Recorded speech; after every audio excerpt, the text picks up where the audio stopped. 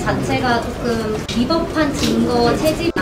박근혜 대통령 탄핵을 할 때도 조선일보가 TV조선이 의상실 몰카 촬영을 해서 그게 촉발돼서 그게 전적으로 촉발된 건 아니지만 그게 어, 시너지 효과가 나서 결국은 탄핵까지 이어졌고 YS 김현철 씨도 국정농단 하는 거를 자기의 친한 친구 박경식 비뇨기과 의사가 녹음을 해가지고 폭로하는 바람에 어, 감옥에 가고 그랬지 않습니까? 그렇기 때문에 공익제보 차원에서 이것을 어, 우리가 불투명한 국정 운영을 하고 비공개 하에서 그런 국정 운영을 하는 것은 결국은 불투명한 방법 아니면 그것을 취재할 수가 없으니까 그것은 문제 삼으면 안 된다라고 생각을 하고 구중월 속에서 일어나는 일을 우리가 어찌 알겠습니까? 이런 방법이 아니면 권력의 비리를 파헤치는 일에 여러분들이 앞장서 줬으면 좋겠고 저같이 이렇게 취재를 하는 사람을 놓고 그것을 가지고 난도질하는 게 언론의 기능이 아니라고 저는 생각을 합니다.